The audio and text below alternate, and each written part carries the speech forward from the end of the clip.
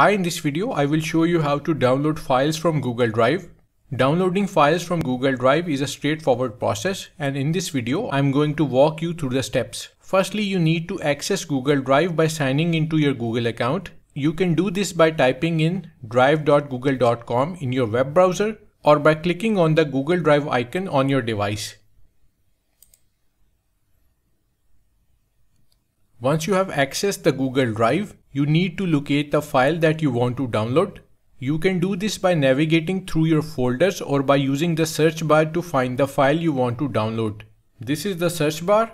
Just enter the name to search for that particular file here. You can download single or multiple files. If you choose to download more than one file, then they will be automatically zipped first. After you have found the file, this is our file pdf file.pdf that we want to download from Google Drive.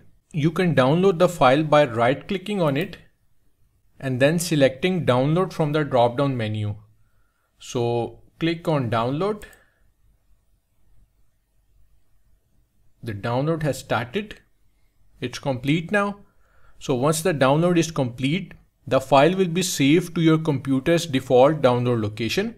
If we open the file, this is our PDF file. So that's it. Downloading files from Google Drive is a simple process and I hope this video has been helpful. Don't forget to like and subscribe. Thanks for watching.